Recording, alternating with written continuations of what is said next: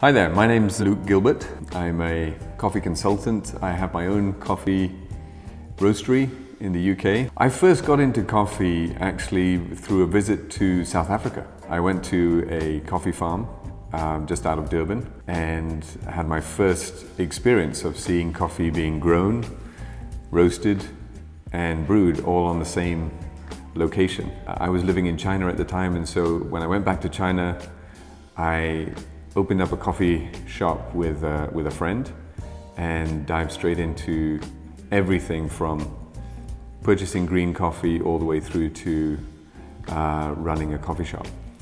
And so that got me into the coffee industry. And then from there, I, I moved into education.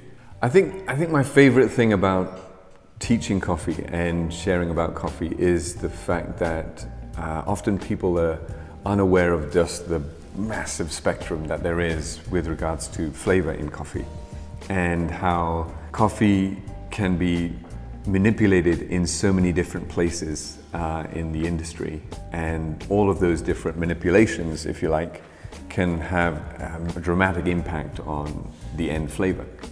And so there's really no end to how you can manipulate coffee to produce all these different types of flavors, all the way from the way that it's being grown, uh, the type of coffee that's being grown on the farm, all the way through to the way you process that coffee, uh, to then the way you roast that coffee and then the way you brew that coffee. At every one of those stages, you can change things, manipulate things so that it has a massive impact on the, on the outcome of flavor. So my biggest passion about coffee is just really trying to explain how these different ways of changing um, the process and how that impacts the flavor.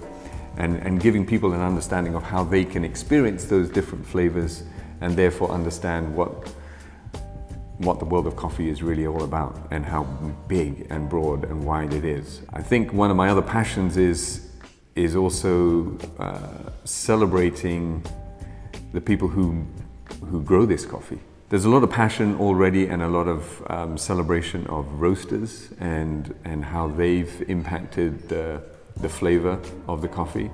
Um, but one of my other passions is really kind of going all the way back and celebrating the, the real origin of the coffee. From when the coffee is still on the tree, all the way through to where the coffee's in, in your cup. A good specialty coffee has maybe had up to 17 people pour their lives and energy into that, into that bean. You're really drinking the passion and energy of 17 people who, who get their livelihood from, from coffee. So that's, that's also a real passion of mine to, to try and explain how that how that comes about, and how that works. So I'm really looking forward to doing whatever I can to help you on your journey to experience the flavor of coffee.